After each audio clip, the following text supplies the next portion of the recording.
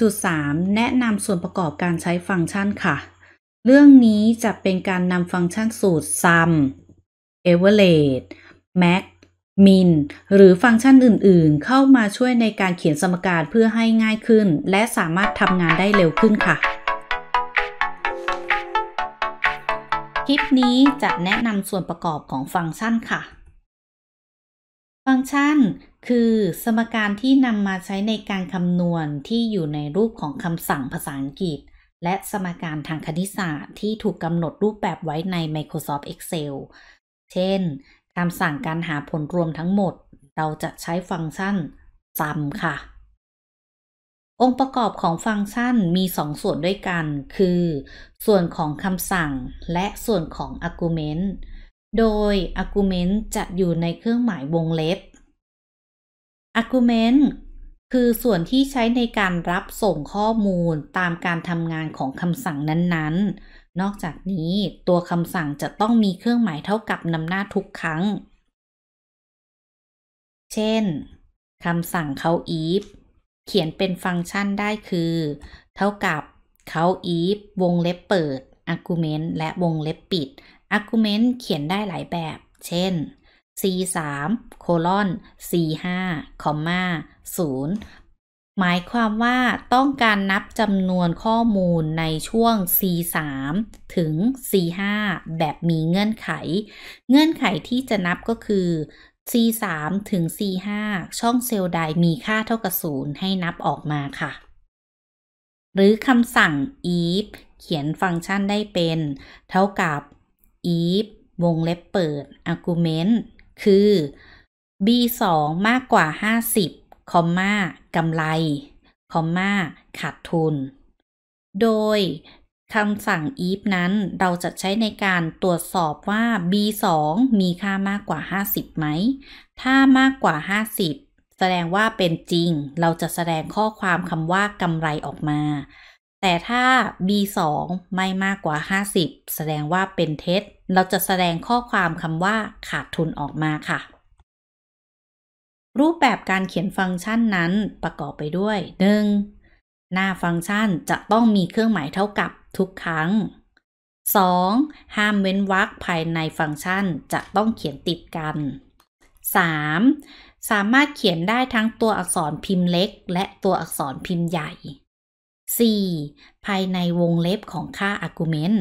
สามารถไม่มีค่าใด ๆ ก็ได้ค่ะ 5. ถ้าต้องการรับค่าหรือส่งค่า argument เป็นข้อความ หรือตัวอักษรจะต้องใช้เครื่องหมายอัญญประกาศครอบข้อความนั้นด้วยค่ะ 6. ถ้าค่า argument มีการอ้างอิง เราสามารถใช้รูปแบบการอ้างอิงได้หลายอย่าง แต่ที่ใช้บ่อยๆก็คือ เครื่องหมายโคลอน เป็นการกำหนดพื้นที่ที่อยู่ระหว่างเซลล์ที่อยู่ติดกัน เช่น ช่องเซลล์ A1 A2 A3 จนถึง A9 เราจะใช้เครื่องหมายโคลอนค่ะ ถ้าเราใช้เครื่องหมายคอมมาจะเป็นการกำหนดพื้นที่ที่เซลล์ไม่อยู่ติดกัน เช่น A1 คอมมา B3 คอมมา D6 ค่ะ รูปแบบของการเขียนฟังก์ชัน จะเหมาะกับการใช้ฟังก์ชันที่มีการคำนวณในของสูตรยาวๆ เช่น ต้องการหาผลบวกของช่องเซลล์ A1 จนถึง A5 เวลาการเขียนสูตรนั้น เราจะได้เป็นเท่ากับ A1 บวก A2 บวก A3 บวก A4 บวก A5 แต่ถ้าเราเขียนเป็นฟังก์ชัน เราจะได้เท่ากับ sum วงเล็บเปิด A1 โคลอน A5 ซึ่งเขียนได้สั้นกว่าและเร็วกว่าค่ะ ฟังก์ชันใน Microsoft Excel มีอยู่หลายตัว ที่นิยมใช้ก็คือ ฟังก์ชันผลรวมทั้งหมด เราจะใช้รูปแบบคือ เท่ากับ sum วงเล็บเปิดตามด้วย argument และวงเล็บปิด ฟังก์ชันที่ 2 ที่นิยมใช้ก็คือ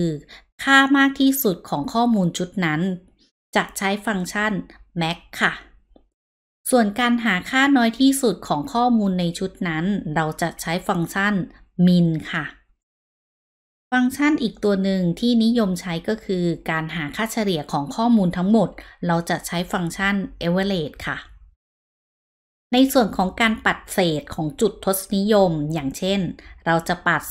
49.7 ให้เป็นจำนวนเต็ม เราก็จะได้ใช้ คำสั่งราว ก็คือเท่ากับราววงเล็บเปิด 49.7คอมมา0และวงเล็บปิด ก็คือปัด 49.7 ให้เป็น 50 เป็นทศนิยมศูนย์ตำแหน่งค่ะ หรือการแสดงวันที่และเวลาปัจจุบันเราจะใช้ฟังก์ชัน now ค่ะ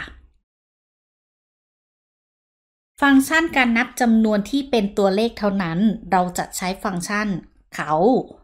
หรือการนับแบบมีเงื่อนไขเราใช้ฟังก์ชันเขา if ค่ะ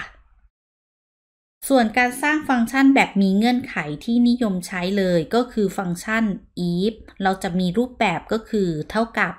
if วงเล็บเปิด ภายใน argument จะมีส่วนของการทดสอบ การแสดงผลค่าจริง และการแสดงผลค่าที่เป็นเท็จค่ะ หรือการหาค่าข้อมูลที่น้อยที่สุดในช่วงชุดข้อมูลนั้น ในอันดับที่ต้องการ จะใช้ฟังก์ชัน small เช่น เท่ากับ small วงเล็บเปิด b1 colon b5 comma 2คือการหาค่าข้อมูลที่น้อยที่สุดในช่วง b1 จนถึง b5 ที่เป็นอันดับที่ 2 ออกมาแสดงผลค่ะ